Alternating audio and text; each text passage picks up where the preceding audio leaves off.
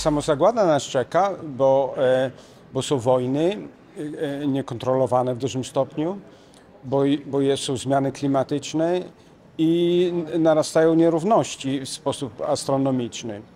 I jeżeli e, tym rzeczom nie podołamy wspólnie, to czeka nas rzeczywiście czarny scenariusz.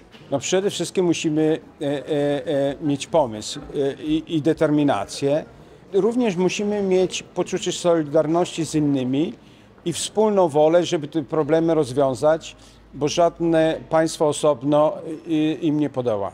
Możemy zmienić rząd, ale w dużej części nie możemy zmienić polityki rządowej, dlatego że aktorzy ponadnarodowi, takie jak rynki czy migranci, właściwie działają niezależnie od tego, co, co poszczególny rząd e, decyduje. I, I w związku z tym musimy e, włączyć w procesy decyzyjne tych aktorów międzynarodowych, ale też lokalnych, bo, bo, bo aktorzy lokalni odgrywają ogromną rolę w rozwiązywaniu często tych problemów też ponadnarodowych, jak migracja czy zmiany klimatyczne. Przede wszystkim musimy mieć więcej pokory, a, a mniej arogancji.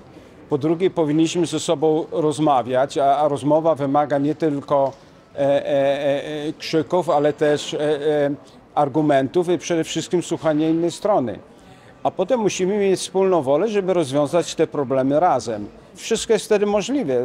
Wie- Wiele rzeczy, z którymi się borykamy, e, są stworzone przez nas ludzi i, i, i my je potrafimy sami rozwiązać e, pod pewnymi warunkami.